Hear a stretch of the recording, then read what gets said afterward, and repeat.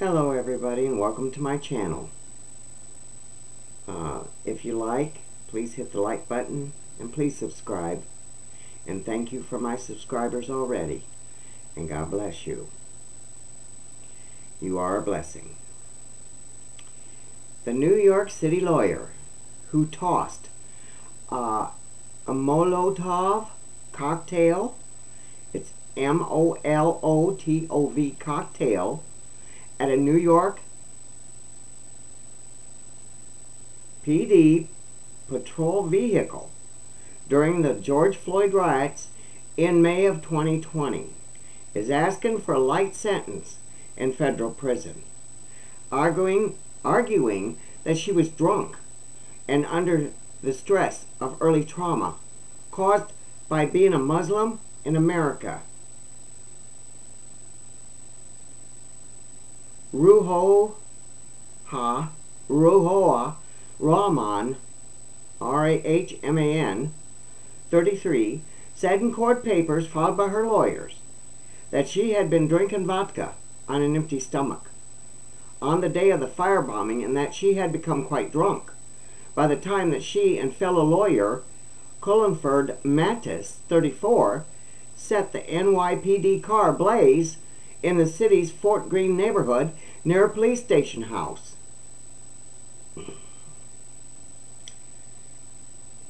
Her filing argument argued that the firebombing was a way of expressing anger at those police officers around the county for whom black lives did not matter. Rahman's lawyers argue in the papers that the attack was somehow an act of protest tended to avoid exposing others to harm.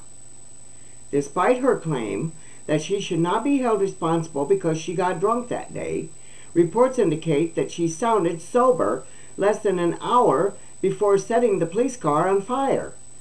At that point, she said in a video interview that the ongoing protests were appropriate since people are angry because the police are never held accountable. She was reportedly speaking clearly at that time, also saying, This has got to stop.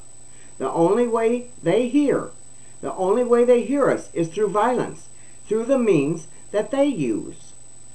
Oh my goodness. The young lawyer pleaded guilty in federal court in October 2021 to throwing the Molotov cocktail. I know I'm not pronouncing that correctly, but I'm sorry. in June of this year. Rahman, R-A-H-M-A-N, reached a revised plea agreement under which she admitted to conspiracy to commit arson and protection of a destructive device. Possession of a destructive device. Prosecutors at that time advised the court they were seeking sentences between 18 and 24 months. Rahman's sentence, sentencing sense here I go again. Sentencing, sentencing hearing is scheduled for next month, at which time she's expected to be credited for the 28 days already served in federal jail in Brooklyn before she posts posted $250,000 bail. Rahman's lawyers also wrote that she should be given a light sentence because of abusive partnership relationships and the injustices she has witnessed here and abroad. The papers say that she has assisted refugees in Turkey and Greece and has helped people avoid eviction in New York. Police Benevolent, Benvol, Benevolent Association Director Patrick Lynch told reporters that Rahman deserves no mercy from the court. He said she remains committed to a violent and anti-police ideology and continues to basic, baselessly smear police officers in her bid for a lighter sentence. Well, my, I don't know what to think about that one. I wish she'd have thought it over a little bit better before doing that violence. Because we all and I mean all colors, were listening to that uh, protest and what people were saying about that young man. Because black lives do matter. They do matter. Bless her heart, I just, I don't know, but she, she should have thought things out. See, we jump to conclusions so often without thinking and get ourselves into a lot of trouble, don't we? Even though she thought she was doing right, it was still wrong.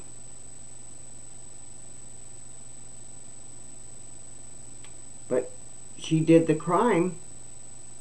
She's got to do the the time or whatever the judge lays upon her and she knows this. I know she does. My goodness. Well, God be with her. Yeah. That's all we can do is just say the Lord, you know, be with her. But when it comes to crimes, excuses don't always weigh out. No, they don't. In the George Floyd riots, we all saw it. We felt bad for the family, gave our condolences, and because that was not right. Dear, dear, dear.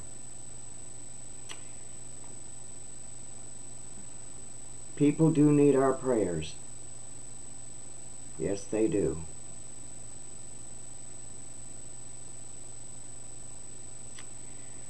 Well, here's another article that I came upon. And this is about the COVID unemployment fraud. Feds reported staggering 46 billion in COVID unemployment fraud. And uh, I do think I have probably already done this one. But uh, let's see, I gotta pull my wings in here, what I call them. Just for a minute here, because I gotta uncover my camera, or I'll lose it. But I think I have already done this, but they're finding more is what the deal is. I do believe on this pandemic-related unemployment fraud has reached staggering, staggering proportions, according to a report from the Labor's Department's Inspector General. Everything from claims in multiple states to dead residents or even federal prisoners were used to strip funds from unemployment insurance. With the astounding, astonishing total of 46 billion acknowledged as only a starting figure, the federal government does not even have solid data on the true scope of the potential fraud. Experts also note that investigators do not have current data on federal prisoners, meaning there is no way to ac accurately update payments of a suspicious nature to this group. Fraud from state prisoner prisoners is not even listed in the Labor Department's numbers. And from the investigators' own words, there is a little likelihood that most fraudsters, fraudsters will be held accountable. In other words, they're going to get away with it. As the accompanying release states, the Labor Department is limited by having less than 140 criminal investigators to call CULL through the massive fraud. That would be a big job. In fact, a press release specifically states that the Inspector General focused on large-scale identity theft schemes involving multiple victims, many of which are related to street gangs. There has been progress made with the pandemic relief fraud including the Justice Department's recent announcement of a massive 250 million scheme broken up in Minnesota. At least 47 individuals face charges in defrauding the government's free meals for children program. That's the one I did before. Yes. But for unemployment fraud, which encompasses tens of billions of dollars at a bare minimum, there is a little retribution. Without belonging to a street gang or submitting suspicious claims for ten thousands of dollars, there's precious little chance of prosecution. The Labor Department notes that roughly a thousand individuals have been charged with crimes and several have been convicted, calling it a tip of the iceberg hardly speaks to the scale of the criminal activity. Many were harmed by the government lockdowns of 2020, and there is little relief for those seeking justice. With the ineffective state-federal partnership that operates the nation's unemployment system, justice is also unlikely to be served for those stealing from the truly needy. It just goes on and on and on, don't it? My, oh my, oh my. Mm-mm-mm. Well, let's put that one up there.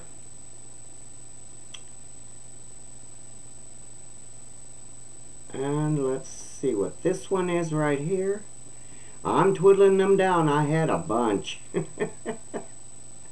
I did. I did my homework even though I wasn't on cam. Uh, this one is Biden's week. Wandering away from handlers, calling out to deceased lawmaker. Now this is the one where that lady was killed in an automobile accident.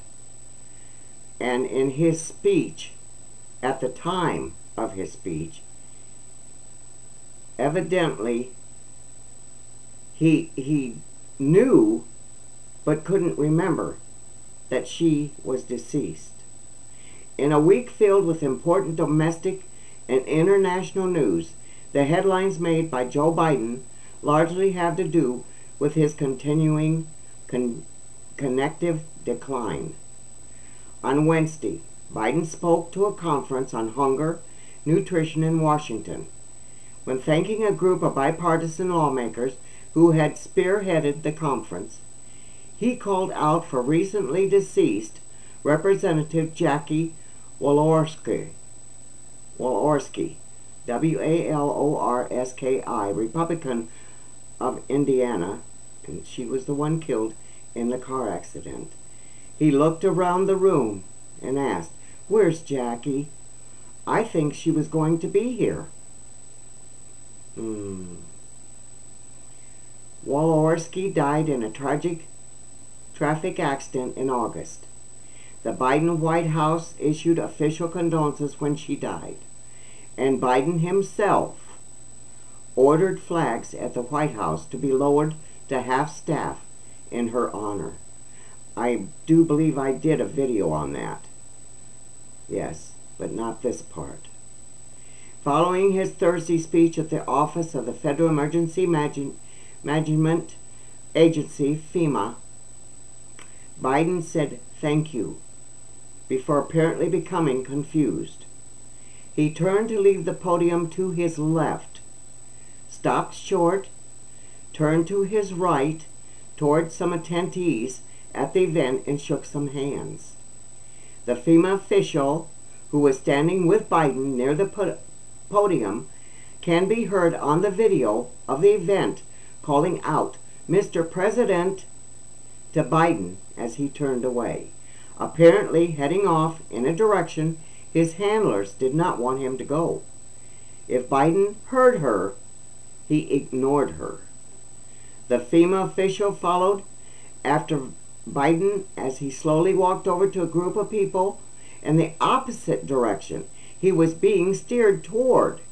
Homeland Security Secretary Alejandro Mayorkas was also in attendance and showed a worried expression as Biden wandered into the staff area. Biden was eventually herded back in the right direction. Then on Friday, Biden delivered remarks at the White House for Rosh Hashanah, after repeating the old Democrat, Democratic false talking point that President Donald Trump, good people on both sides, comment after Charlottesville was somehow praised for neo-Nazi, Biden again found himself in trouble. Joe Biden was on stage with her husband when he completed his remarks. He appeared confused about where to go, froze in place before asking Jill something inaudible. When she responded with a curt no, reporters in the crowd began shouting questions at the president. Before he had a chance to consider whether to speak to the reporters, Jill began ushering Joe in the correct direction to leave the stage.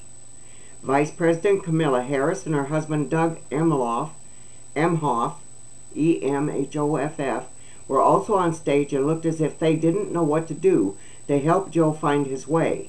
Although Emhoff tried to be helpful by pointing out to Biden the direction he should be going. Unfortunately for Americans, the country and the world are now left wondering what the next middle lapse will look like as tensions in Europe are reaching new heights amid the sabotage of the Nord Stream pipelines and the announcement by Russia that they are now cutting off overland energy deliveries to EU nations through Austria. My oh my. No words. I feel bad for him.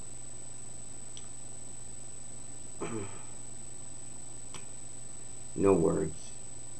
God love him. Even though we're in such a bad place right now. But you know, the thought crossed my mind. These signs had to show up before he became president and somebody knew it. And they just kept pushing him and pushing him to become president. They knew he was weak, mentally unstable in certain areas. That's my thought only. What do you think? Leave me a comment. Laters. God bless you.